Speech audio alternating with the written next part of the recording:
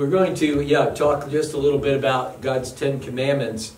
And uh, I put this up this morning. One of the reasons that the Ten Commandments, and I believe there are some places around the country that believe that the Ten Commandments aren't for today. There are other things that replace it. I don't believe so. I believe Jesus fulfilled every one of these commandments.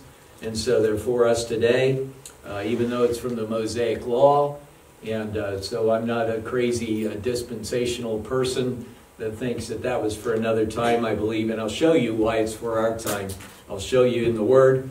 Uh, but I believe these are a remedy to the wokeness that we face today. These will keep us safe from any of the subtleties of what we hear on the radio, television, internet, whatever, uh, that talk about wokeness, because wokeness is, uh, is a horrible thing that has come to our, uh, it's been with us for probably about 10 years now. And, uh, and, and, I'll get into, uh, I won't explain it now, but I'll get into it in just a minute. I want you to see a couple of scriptures before we get into the Ten Commandments. And this is uh, it, where the Ten Commandments are. This first scripture is in Exodus 20 20. And it says this Moses said unto the people, Fear not, for God has come to prove you I've got that underlined because I want you to remember that, okay? God has come to prove you. Because people that believe um, in, uh, in certain dispensations throughout history that God has worked with people in different ways, yes, He has worked with people in different ways, but He's always, he's always brought His word out to people uh, in times of trouble and need, and they're all over the scripture, amen? So uh, they say that God, is, uh, you know, has proven people in different ways in different generations. I believe this verse tells us that the Ten Commandments are there to prove us. Amen? We follow those commandments. It's a way of God proving us. Uh, read on. And that his fear may be, be before your faces, that ye sin not. What is the purpose of the fear of the Lord? That we don't sin. And there's scripture after scripture that tell us that. Amen? And so God has, has made a way uh, where we're, we're not sinning, where we're not siding with the enemy. And that's basically what it is. Sinning is siding with the enemy. It's disobey, and of course, it's disobeying God. And so we're, uh, we, we're, you know, we're against that because God's against it. Proverbs 8.13 says this, The fear of the Lord is to hate evil, pride, and arrogancy and the evil way and the froward mouth do I hate. So this is David ta- or uh, Solomon talking, and he's he's saying the fear of the Lord is to hate evil. And so you see that that hatred of evil because God hates it. He doesn't hate the people that do it, but he certainly hates the sin, and we do too. And praise God, we have a remedy for that sin. Jesus died on a Roman cross to save us from our sins. And so uh, we live in holiness unto the Lord. Amen? So he says here, the fear of the Lord is to hate pride, arrogancy, and the evil way, and the froward, contrary mouth. And that's what the Ten Commandments stand against. It, it protects us against doing these things pride, arrogancy, a froward mouth, which means a contrary mouth to the Word of God. That's what it means a contrary mouth to the Word of God in every evil way. And so, this message, I'm going to say, is my uh, continuation of it's time to take a deep breath. It's time to really take inventory in our lives and understand that we need to devote ourselves to what God has said, right? Mm-hmm. We need to devote ourselves to what He said so it will keep us safe, so it will keep us strong, and we can be vessels of the Lord to stand against this incessant, insane wokeness that is being pushed uh, on our children. Amen. uh, in the beginning of the year, I spoke at the commissioners' meeting and I said this uh, because I put it into a, a, summation of what we've been doing uh, at the library with the school board and other places. Uh, and I, I, summed it this way that uh, what is going on in these these entities, these places like the library, is it's a Trojan horse. And if you don't know uh, the and, and most people will say the legend of the Trojan horse. I'm not convinced it was a legend. This may have actually happened. And I think a lot of things that we call legends, and a lot of people, right. whether they be gods and goddesses or whatever, have been around as actual people and individual individuals. All right? I got that out of my system. But I really, you know, I, I see that because I see it fitting into what's going on today, too. So uh, don't try not to call them myths. You know, just tell tell the story. And so that's what I'm going to do today. I'm going to take my own medicine and tell the story. So the procession of the Trojan horse into Troy, and Troy it was. Um, uh, now I forgot where Troy was, but anyway, it'll come back to me. Um, it, uh, the procession of the Trojan horse into Troy from two sketches depicting the Trojan horse, oil on canvas by Giovanni Domenico, and uh, it's in the National Gallery in London. It, of course, great Italian painters. All right, moment of glory here. Anyway, awesome. But you see these people pulling this Trojan horse into um, the city of Troy where there has been a war. The Greeks are on the outside. Of course, the uh, Troy, the people of Troy are on the inside of the city. Uh, the, and uh, these Greeks are pulling this Trojan horse in. And this was a gift to Troy to the goddess Athena. All right? To the goddess Athena. And Athena was a female goddess, uh, part of this overall plan. Uh, you, we in, the Christi- in Christianity have Father, Son, and Holy Spirit. Right? Yes. Our Trinity. The pagan Trinity is usually Father, Son, and Queen. Yeah. That's the, usually the pagan tr- Trinity. Father, Son, and, Trin- and Queen, or Goddess. And so uh, we, we take a lesson. This, this horse was to brought into the city to get, pay homage to this queen, all right? Uh, some churches call her the queen of heaven. We won't get into that. But anyway, um, you get the picture here. Now, uh, we have this Trojan horse going into Troy, and of course, what happens when the horse goes into Troy? I'll read the whole story in just a minute. But uh, the soldiers jump out of this horse, it was hollowed out, and uh, they were able to go open the gates and let all the troops in and sack the, the city of Troy. Okay? So, uh, anything, anything that is hidden, anything that is um, cloaked in something, we'll call it, uh, we can call wokeness. And you'll see that in just a minute. So, uh, in New York City, we have this uh, statue that was put up. And this was brought to you courtesy of wokeness and paganism. Um, basically, this is a statue supposedly of Ruth Bader Ginsburg. Now, thank you, Ed. That's the appropriate response. The reason she looks like Ruth Bader Ginsburg is because she has lace on her collar. Nothing else in this picture resembles, and, and we, we're laughing, but this was put on a courthouse, a district courthouse i- that hears federal cases in New York City to give honor supposedly to Ruth Bader Ginsburg. We, we know this is a pagan statue. We know this is signaling. We know this is signaling wokeness uh, to, to bring uh, propaganda to our young people and to turn and twist history. Beloved, we have a history. And some of us have lived a long time, like me and Lee, and, and well, we won't go any further. But anyway, uh, thank you. You're welcome. And so, uh, but we remember history, and we don't ever want to forget history. Okay?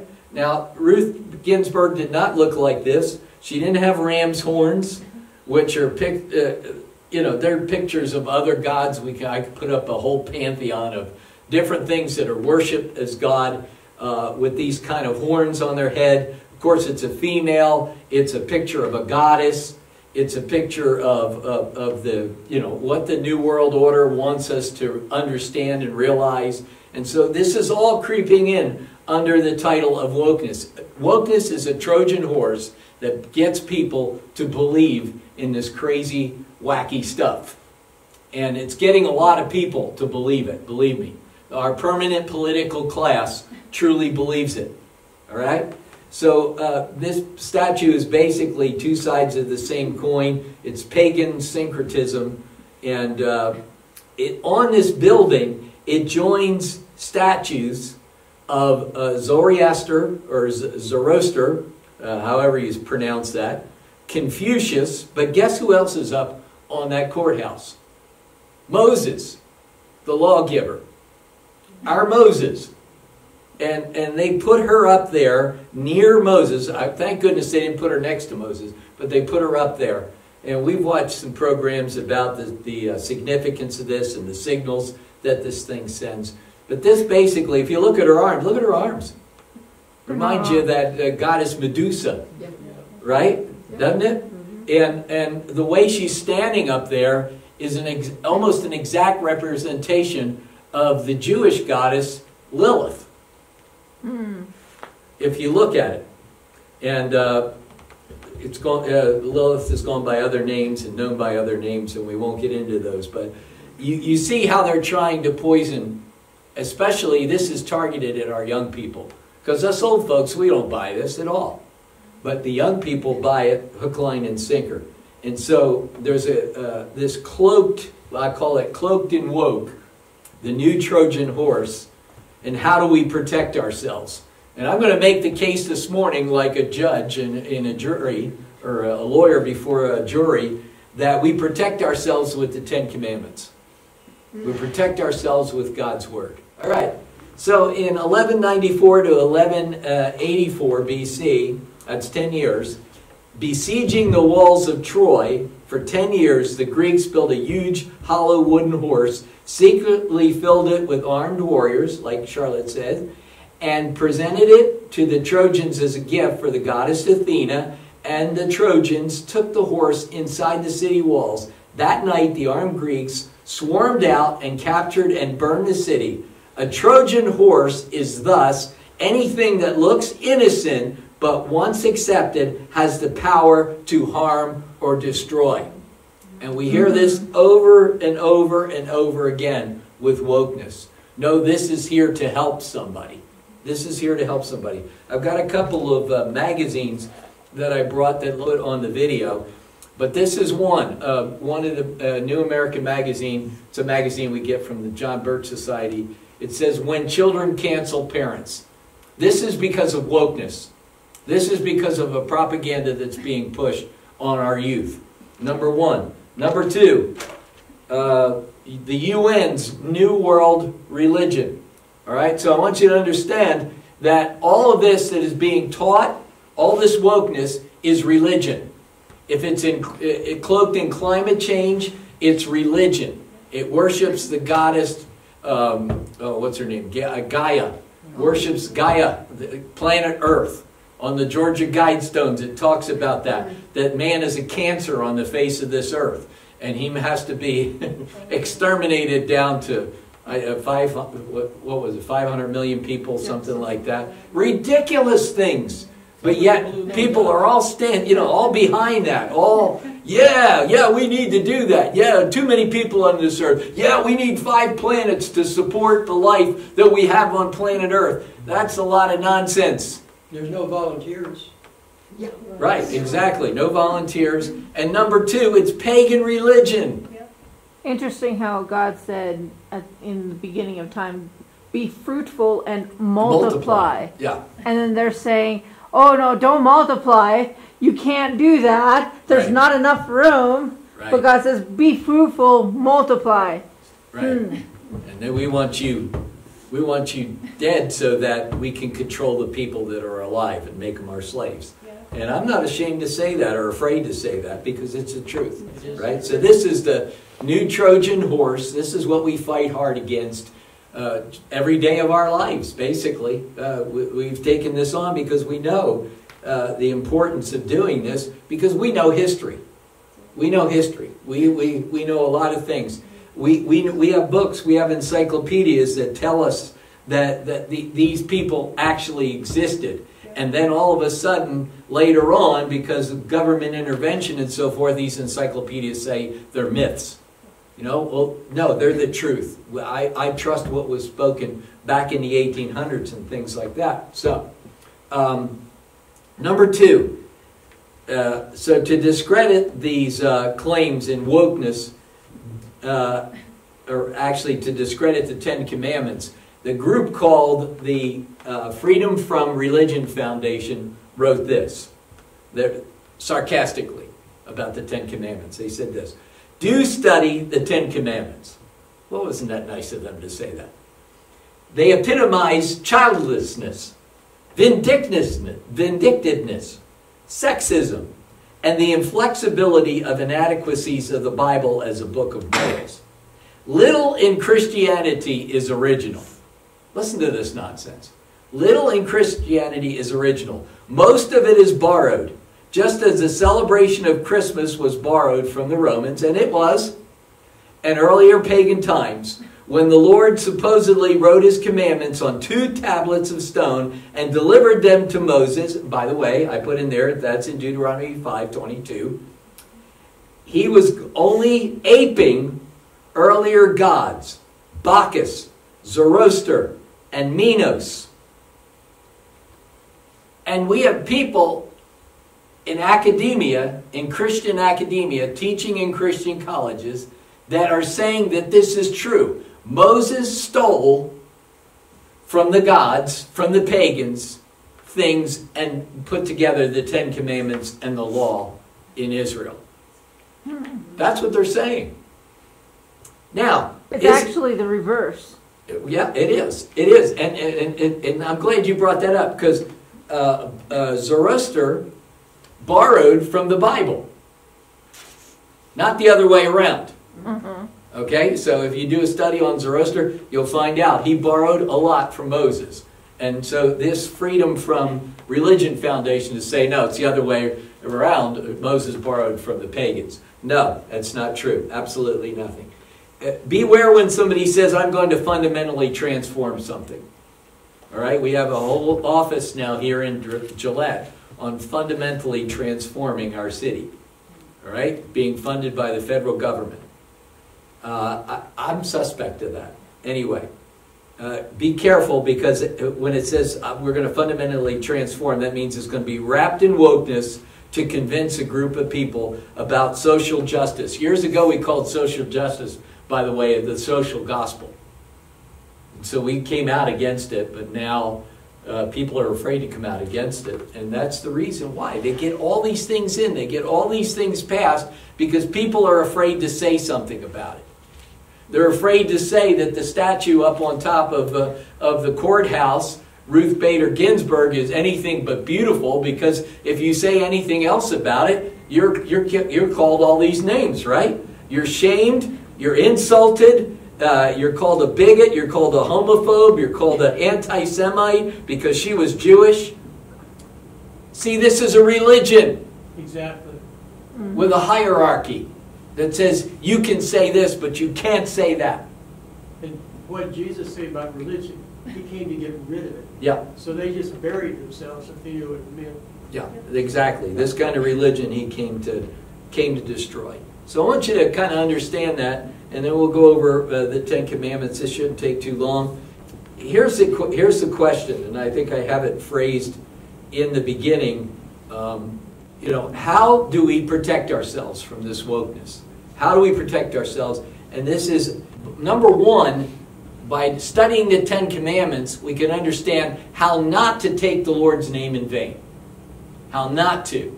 Because a lot of people think, well, taking the Lord's name is in vain is to actually speak his name uh, and use it as a, as, a, as a curse word or some type, type of word to get your attention. All right, and they call that uh, profanity, not profanity, but uh, taking His name, Lord's name in vain.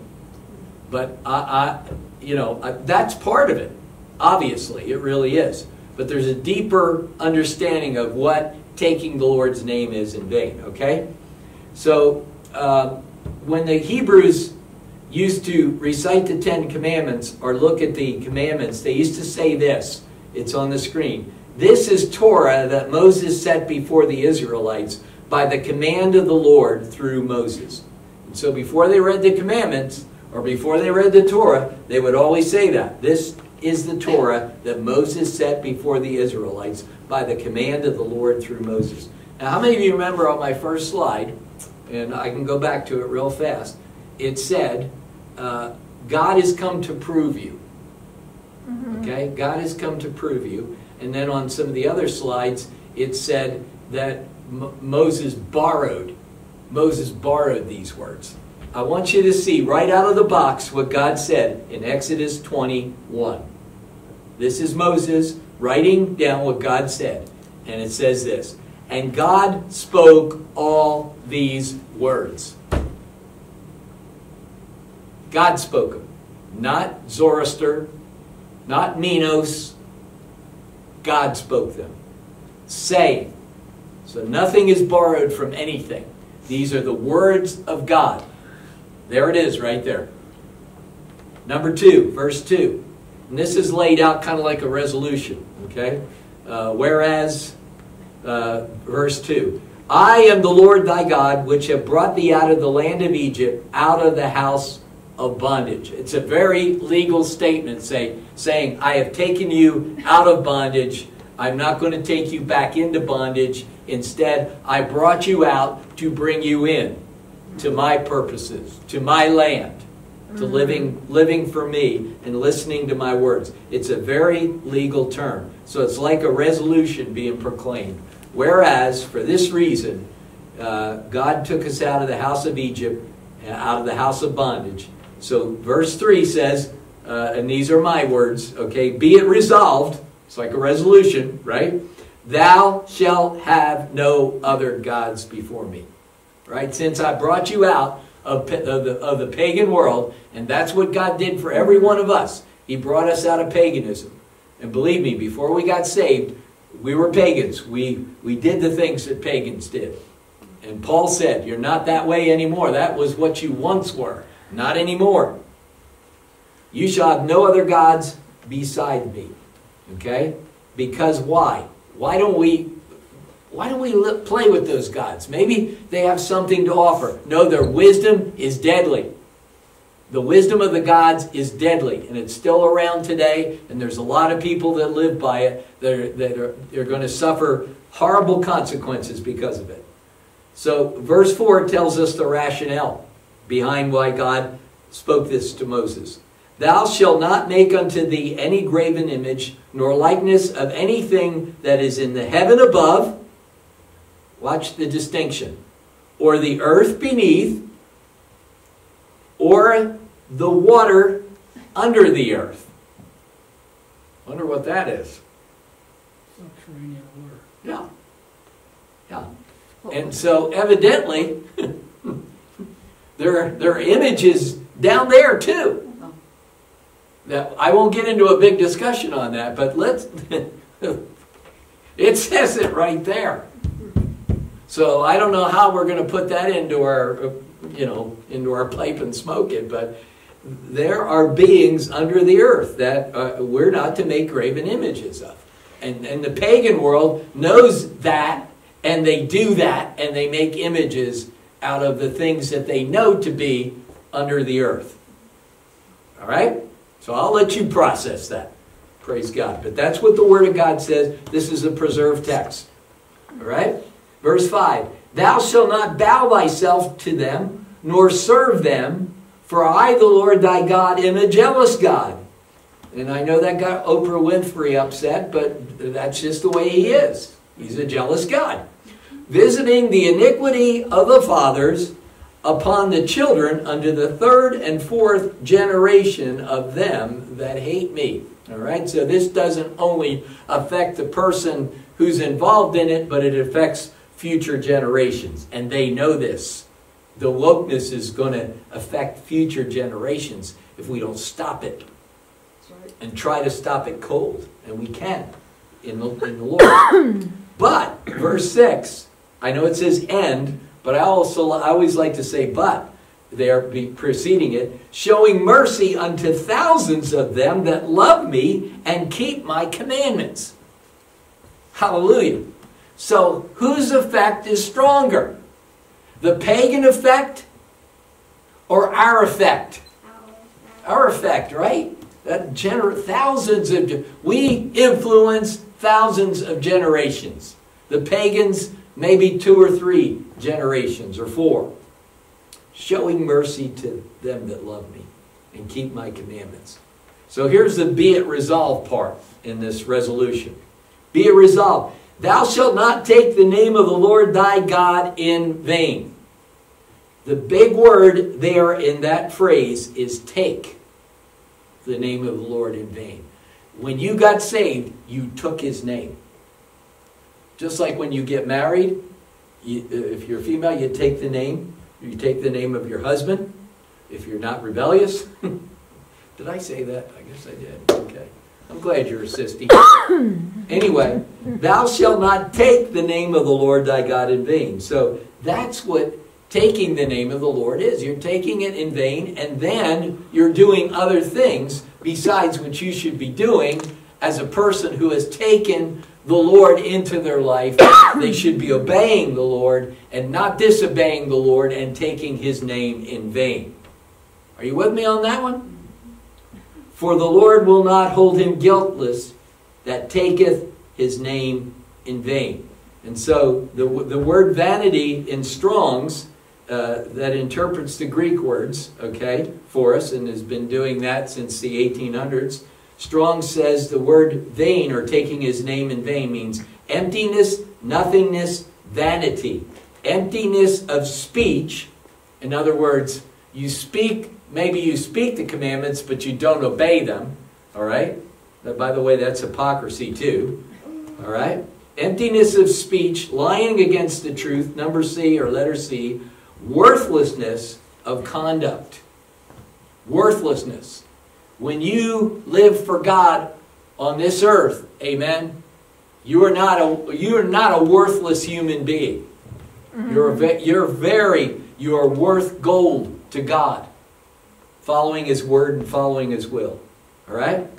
The, the, only, the only way that uh, the Mosaic uh, law differed a little bit, that the atheists are saying that it differed, was the recipient of the tithe, the priests given their stations, and uh, I, want, I, want, I even want to ask the question all right, well, if the recipient of the tithe, if they had three different recipients of the tithe, or if they had uh, different stations for the priests that weren't really found in the Torah, but they had them. Aren't we smart enough? Aren't we blessed by God enough to figure these things out, these contradictions out, and not throw the baby out with the bathwater and say, well, Moses must have borrowed from the gods? We cannot believe anything, anything that the pagan world says. We can't because it'll, it'll, it'll turn us around. What keeps us safe are the Ten Commandments. Now I'm going to read, uh, read some of these commandments to you. And let me see, I didn't skip any, did I?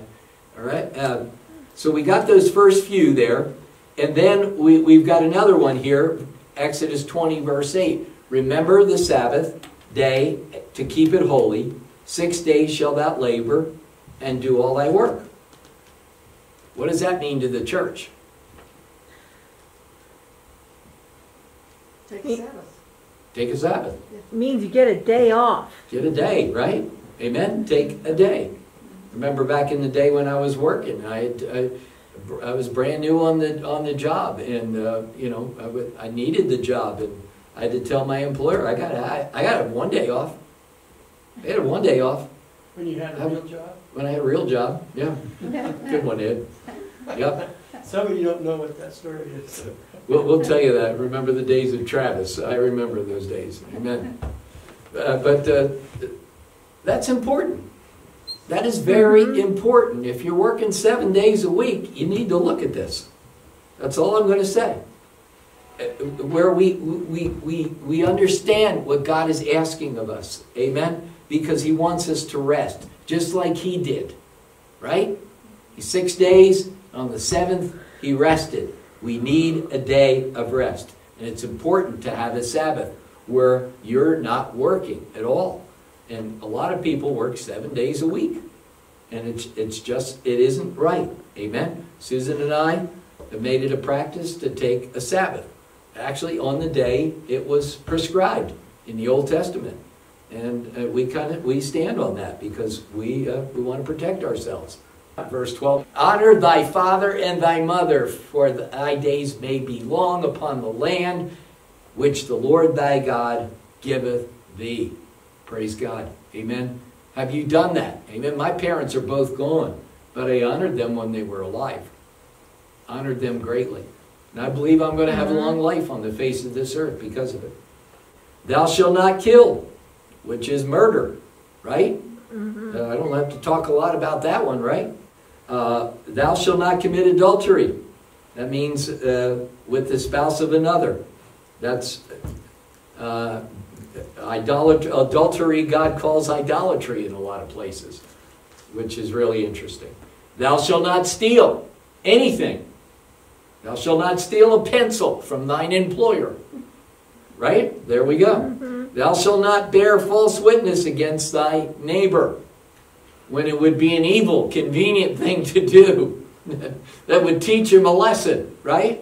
No false witnesses. Out of the mouth, God says, out of the mouth of two or three witnesses. That's why uh, shall every matter be established. Protection against wokeness, beloved. That's what this is. Verse 17. Thou shalt not covet thy neighbor's house. Thou shalt not covet thy neighbor's wife, nor his maidservant, uh, manservant or maidservant, nor his ox, nor his ass, nor anything that is thy neighbor's. Praise God. If your neighbor is blessed, bless him. Praise God. If he's got a nicer pickup truck than you do, bless him. I'm, I'm serious. You, you are going to see such joy in your life. Such joy in your life. Amen. This whole world that we have is, is, is a lot of it is based on jealousy, where people want power. And they're, they're, they're power, so power hungry that they'll get, they'll get it from dark sources, dark people, and dark words instead of the Word of God. And we have to be the total polar opposite of them in this world. So, number two, keep ourselves safe from wokeness. We understand what taking his name in vain looks like. All right, it's there's not just a process of uh, of of taking his name in vain, but what does it really look like, and what how does it manifest in our life? And so I want to read quickly Deuteronomy 28:15, which talks about the first few verses of Deuteronomy 28 are about the blessings of God. We've talked about them a lot, but these are when you when you fold your arms and say that doesn't apply to me in the Word of God or whatever, then this is what happens to you when you reject His commandments. Deuteronomy 28 15. But it shall come to pass, if thou wilt not hearken unto the voice of the Lord thy God, to observe to do all his commandments, there it is, right? Including those Ten Commandments we just read that the atheists say Moses didn't get from Moses, they got it from pagan gods. That is totally wrong. Observe all God's commandments and his statutes, which I command thee this day, that all these curses shall come upon thee and overtake thee. Look at your look at yourself in the mirror and say, I don't want that. Mm-hmm. I don't want any of these things to come upon me. So what is God telling us? I'll keep you safe. I'll keep you free from wokeness. I'll keep you free from that influence that demonic influence that's coming upon our, uh, our children and our people.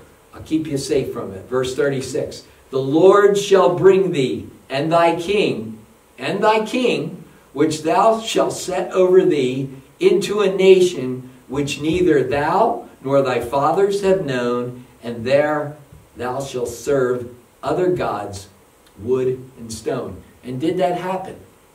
God delivered Israel from Egypt brought them into the promised land, and eventually had to bring them into Babylon.